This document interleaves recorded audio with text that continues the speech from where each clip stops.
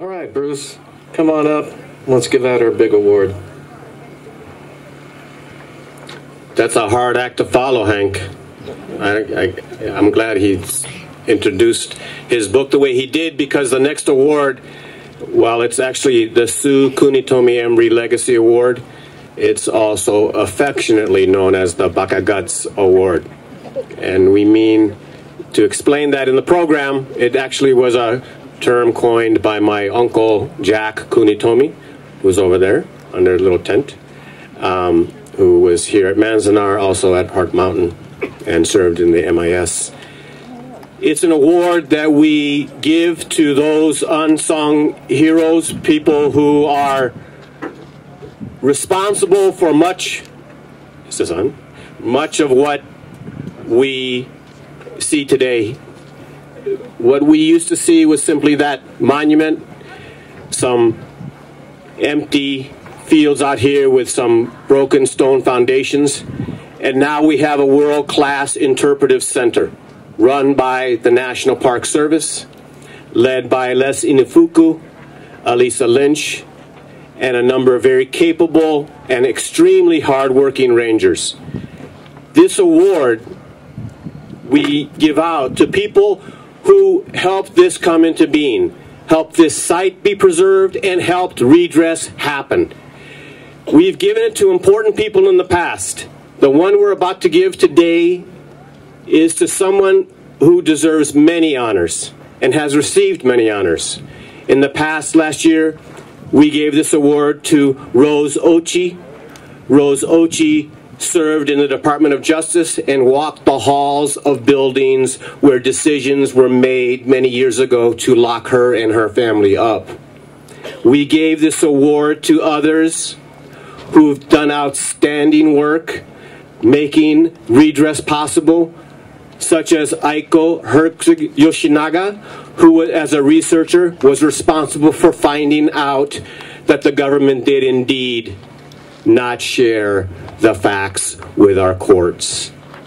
And for those accomplishments, we give this award. Warren has a list of accomplishments that I can't even begin to recount.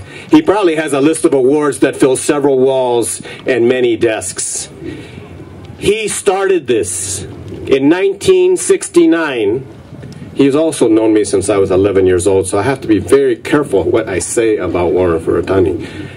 But Warren started this, invited my mother to come back, and a cold December day, they came back to take care of that monument. And now we have what we have today. So for that, we honor him. He's been responsible for so much. He has maintained a clarity, political clarity, a social consciousness with actions to match. This is no armchair activist. This is a man who has done incredible things from the state legislature down to pounding mochi in Little Tokyo. The man has accomplished many things that most of us, well, he's accomplished many things in his life that multiple numbers of people barely accomplish in their lifetimes. So with that, I'd like to introduce Warren Furutani. Present Warren with the Sue Kunitomi Embrey Legacy Award.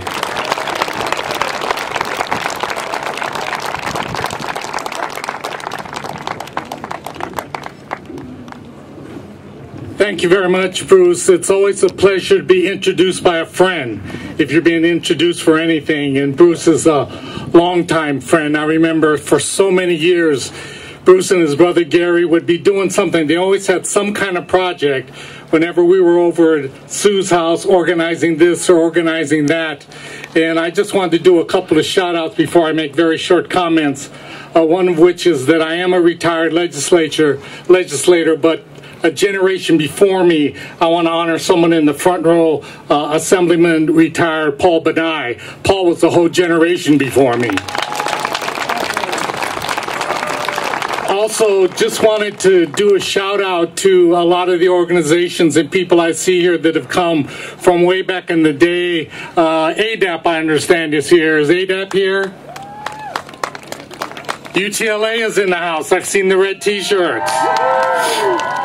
And you know, they always get led, and I know he gives his GO whatever tour that he gives on the way, but he's my social studies teacher, and that's uh, Mas Fukui. Mas is here as well. Okui, Mas Okui, thank you. But uh, I wanted to thank just real briefly also my family for schlepping out here today, getting up real early in the morning. And uh, some of you heard uh, Aiko being introduced, but I'm married to the other Yoshinaga, Abe, and that's her daughter, and that's my partner Lisa, Abe Furutani. Lisa, where you at? And my two sons, Say and Joey Furutani, and my daughter-in-law. Uh, we have Tracy Furutani, and we brought along her mother-in-law, our dear, dear friend Linda Inoue, for, uh, in Linda Inoue. And also we brought Lisa's aunt. Amy Yoshinaga's in the shade somewhere. She better be in the shade because it's so damn hot. And also a couple of my nephews came, uh, Ryan Kochiyama and Khalil Kochiyama. So we brought the whole crew out here today. But I wanted to just accept this award, and some people have congratulated me, and I appreciate that very much. Uh, several of us here, and I wanted them to stand if you're here. They came on the first pilgrimage. Uh, is anybody here? I know Mo's here. Is Mo here? Because I've heard him complaining already. Mo's got to be here. Art, I don't know if Art went on the. Art, are you here? Come on, is anybody here from the first pilgrimage when we went in December and that's how much we knew about this. We came on our first pilgrimage in December. It makes no sense at all. No sense at all. Tell the story, Warren. You know, and our good friend Brian. I mean, we came in 69, and then we heard through the grapevine, because this is how it was all done. It was done through the, you know, the communication network. It wasn't done through a web page or blog or anything like that we had heard that two lay ministers, Reverend Wakahiro and Reverend Maeda, were coming back ever since the camp closed. And we came back with them one time, time after I think it was the second pilgrimage, and that's why we started coming in April. And then I don't know whose idea it was, but somebody had a real great idea thinking that if we do it on opening day for trout season, it's very likely we're going to get the Buddha heads to stop in. So that's why it's the last Saturday of every April. But as you can see in the audience, this has never been just a Japanese American issue. It's been an issue for all humanity. The issues that are talked about, the issues that are dealt with, whether historically or contemporarily, Bruce and I were talking, and it's a very timely, a very timely time to deal with something like this and the issues involved as we look at what's going on in the country. Some terrible things are happening, but as these terrible things happen, we can't let those be the way and the reason why people start abridging the rights of the Constitution. So it's something you have to be ever vigilant about. But when we came in 69, we really didn't know where we were going. Uh, Victor Shibata and I were going to a rally down in Oceanside, and this gives you another idea that we were just sort of a little off center, definitely to the left, but off center. We were going down for an anti war demonstration in Oceanside, right in front of the Marine base. So we were sort of looking for things to happen. And we were talking about we need to march somewhere, damn it.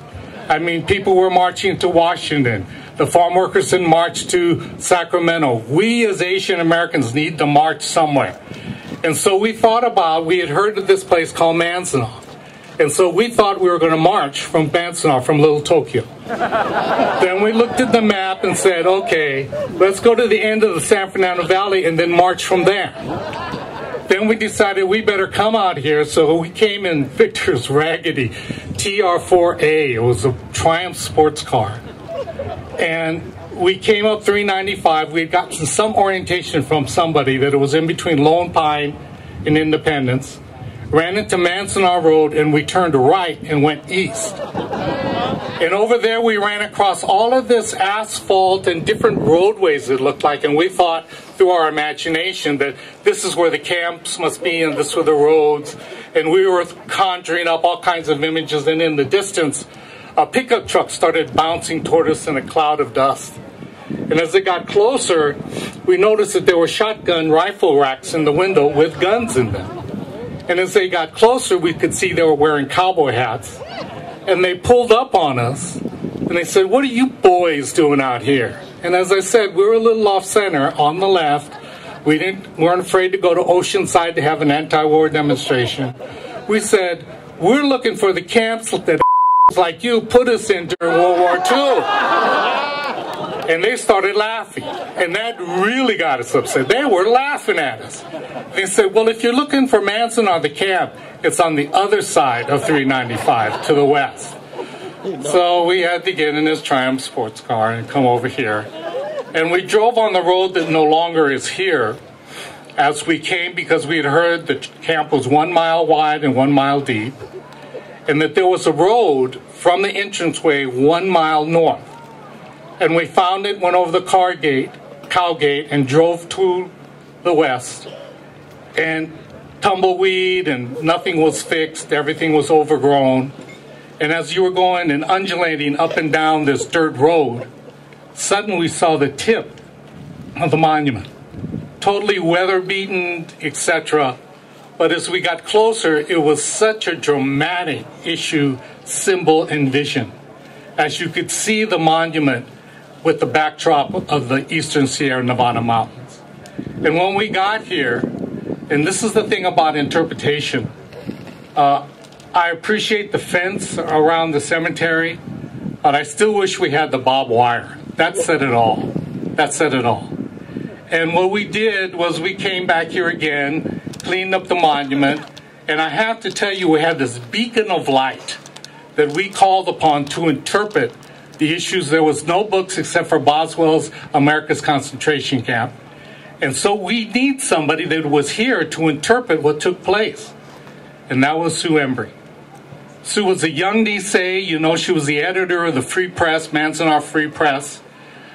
I don't know if I should say this, Bruce, but she was a radical. She was a lefty. She was. We work with her issues around anti-war and so many other things besides just Manzanar. But she started filling in all of the empty spaces, all of the questions that we had. And other people, a speaker at our first pilgrimage was Edison Uno. And I don't know if you know Edison Uno, but Edison Uno was from San Francisco. And he was there. And we also had others that came and people like Amy Uno, Edison Uno's also was an interpreter for us, explaining what really took place, filling in the blanks for us because we didn't know and there were no books. Bob Nakamura had not done his first film, Manzanar, yet, let alone Tad Nakamura, his film on Manzanar. So all of this was coming together for the pilgrimages. And this became sort of an educational field trip, uh, an educational, political, social, political field trip. And I know there's a debate about what terms to use, whether to call it a concentration camp, an internment camp, uh, incarcerated, or intern, whatever terms you want to use. Uh, if you want to know the right terms, just ask Aiko. She'll explain it all to you. But we did it first. When we got the first plaque done, we had a limit of number of words that we could put on a bronze plaque. A limit. And we went to the State Historical Society and had a pitch battle on this, on the wording. So before you go, look at the plaque that we set, I think, in the early 70s. It's made in bronze. I don't know if they cleaned it up because people have taken a hatchet to it, they've shot it with weapons and guns. And we say it's a concentration camp, and Japanese were put in here because of economic greed and racism. We got them to put that in bronze. So, as we talk about this issue, the concern I have is our interpretation, our continued interpretation. And I appreciate the national parks and all they've done, and I really appreciate the Manzanar Committee because we need to make sure that the political, socio-economic realities of this issue and what the government of the United States did to its citizens throughout this country is a lesson that is always learned. And it's not just a stroll down memory lane. It's a lesson that has contemporary application, and it's proven time and time again that we need to be vigilant about making sure that people's constitutional rights are honored no matter the environment, no matter the context, no matter what's going on in the overall society. Those rights are indelible. Those rights cannot be taken from us. I don't care what kind of clothes you wear, what color your skin is, how your eyes look, whatever the case may be. This is something we forever have to be vigilant. I'm honored to receive this award. Thank you very much to the Manzanar Committee and all of you that have come out today. Thank you.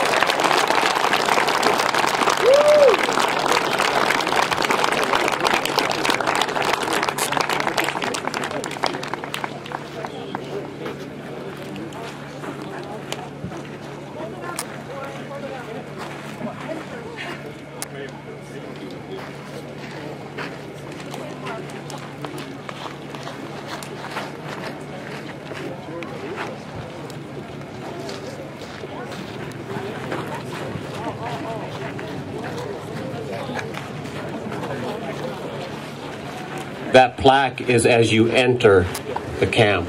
So it's on, set to the side, and it's in bronze, and it's still there. Thanks again, Warren Furutani, OG. All right. All you folks that are under 30. there was a time when you took your life in your hands and you went out on the streets. So turn off the computer and get to work. Put down the iPhone. It's an interesting thing that uh, a quiet generation of people produced people like Warren Furutani or Sue Kunitomi Embrey. All right. Did you get some song lyrics in your program? Let's have a group sing along. Ken Koshio, Koshio-san, where are you? Koshio-san. Ken is driven all the way in from uh, Arizona. You might see him playing down Little Tokyo sometimes. Not too often now, though. And as he sets up here, he's been called the, uh, the Japanese Bob Dylan. I prefer the Japanese Neil Young. He does too.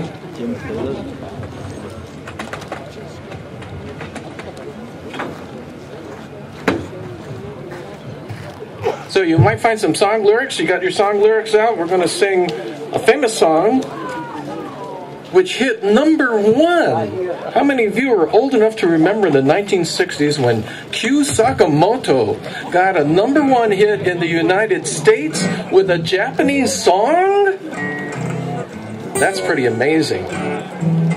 Sing along with us. Any Manzanar committee members want to come up like Jonathan? Where are you, Jonathan? Jonathan? Carrie? Teeny? Manzanar committee members, come on up and sing. Yay.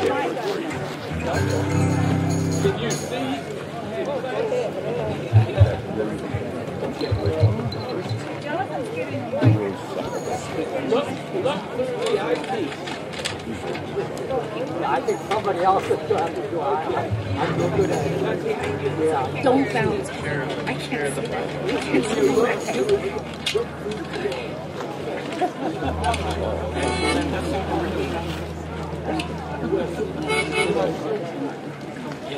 Stop pushing me.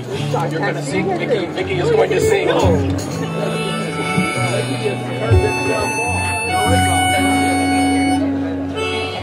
I'm no photographer. Hey, you know Japanese, sing loud because I'm not sure about Jonathan. Here we go.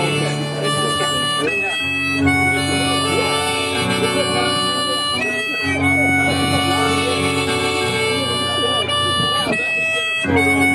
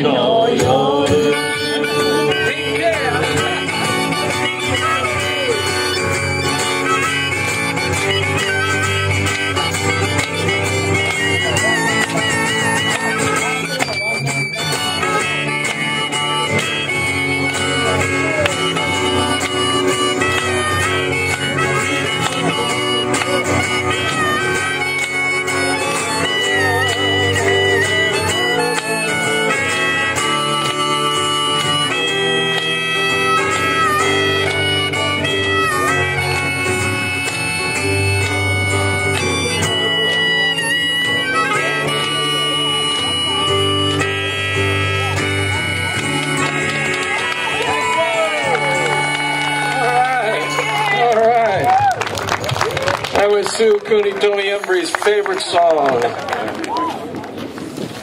All right, we're going to add something to the program. We're going to have a speaker come up from the Council on American Islamic Relations. Zainab, please, where are you? Please come up, Zainab. Oh, here you are.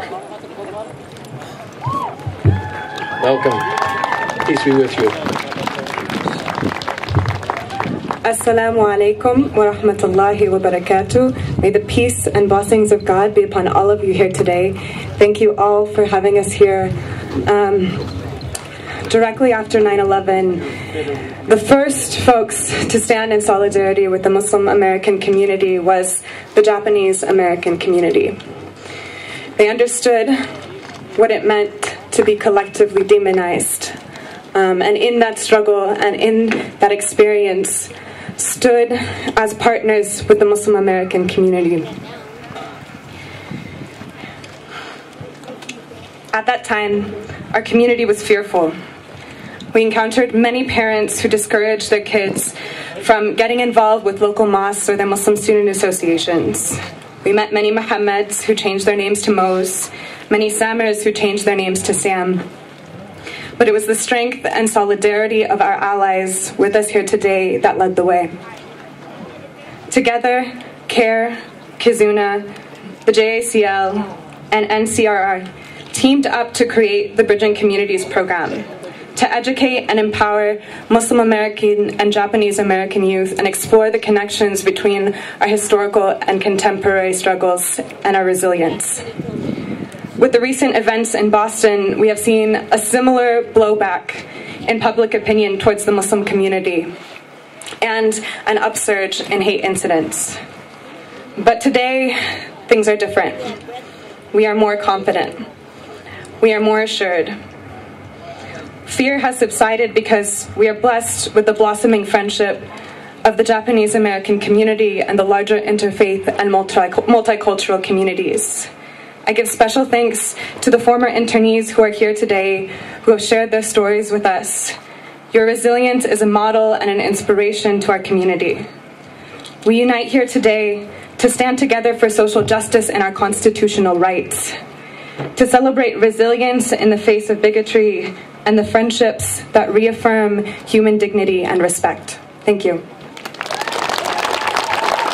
Thank you very much. Thank you very much. You might notice the uh, the piece that Bruce wrote, the main piece of writing in our program. Why remember? The past revisits us today. The past revisited Boston recently.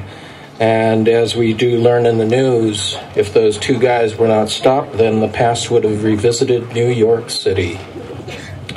All right. Let us uh, bring up our keynote speaker, Karen Korematsu. Karen, right on my right here. And I'm just going to look at the first couple sentences of her bio here. She's the daughter of Fred T. Korematsu.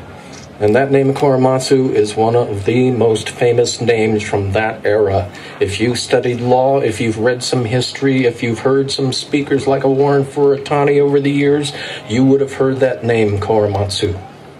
Karen, please.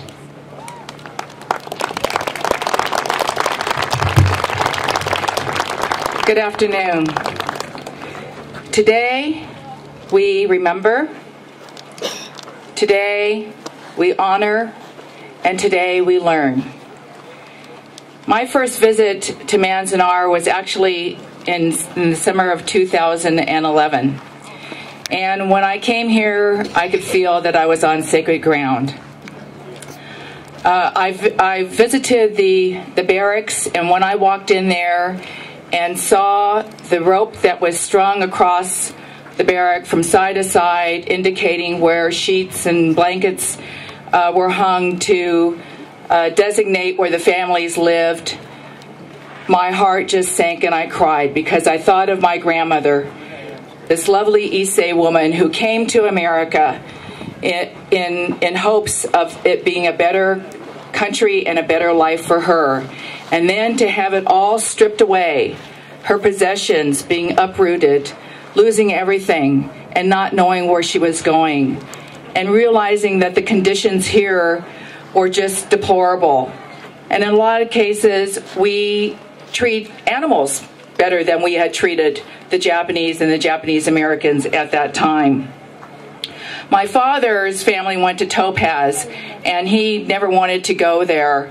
Uh, now I understand of the, the pain that he felt at the time. And this is my first pilgrimage, and I can tell you this is very inspirational. When my father's uh, Supreme Court case was reopened in 1983, there were many people that did not want him to do so. He had been vilified, actually, since the time he took a stand against the government uh, during the incarceration of 1942. No one wanted anything to do with him. They thought that if they associated with my father, that some harm might come to them. And so basically, our family was ostracized when I was growing up. And I really never knew my, my own community his, until his case was reopened.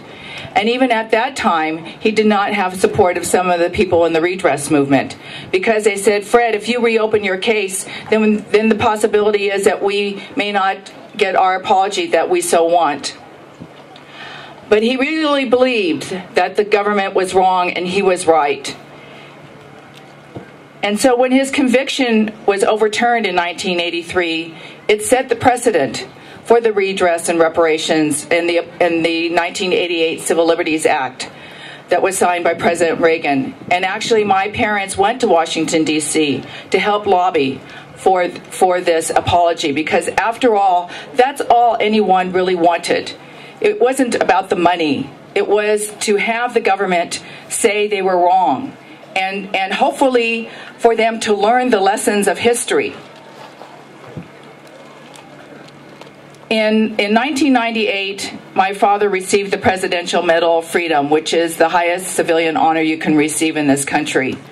But when he did, he did so on behalf of all Japanese and Japanese Americans that had been incarcerated. He had continued to speak out and crisscross this country and educate about what had happened here and in the other nine concentration camps where people were incarcerated and the and the injustices that were dealt with at the time. It was it was very moving for him to receive this honor.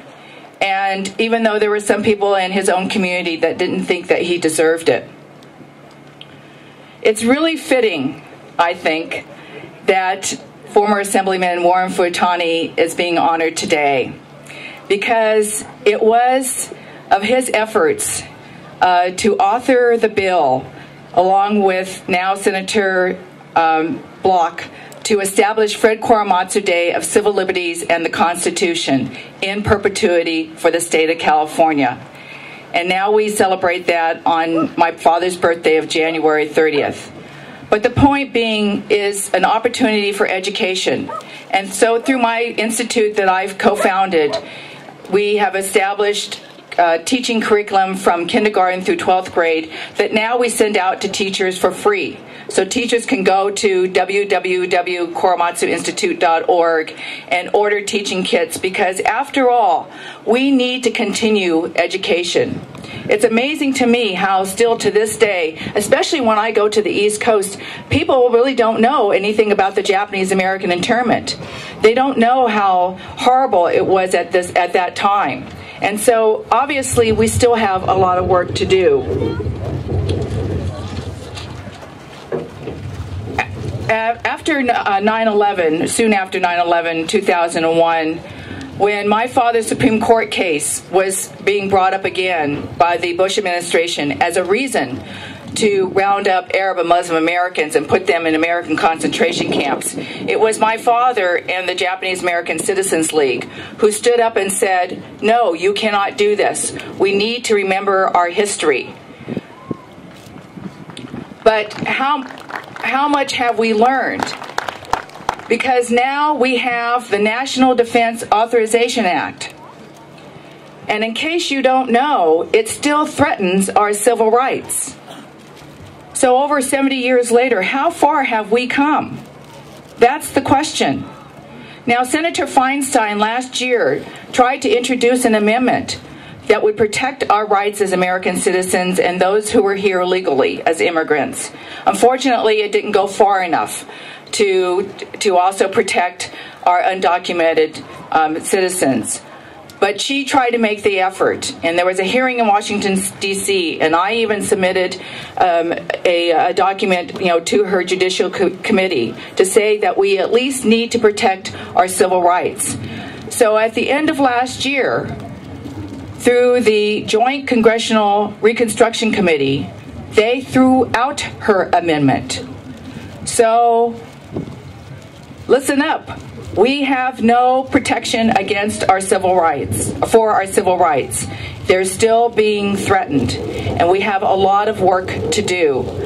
Uh, and so I charge you, when you go here from today, to tell what happened here, tell people what you've learned, and also to share your own stories. Tell your grandchildren, your great grandchildren, and send out emails, blogs, and even write that old fashioned letter because we still need to educate. Otherwise, something that will happen like the Japanese American internment will happen again. And so please remember my father's words. When you see something wrong, don't be afraid to speak up. Thank you.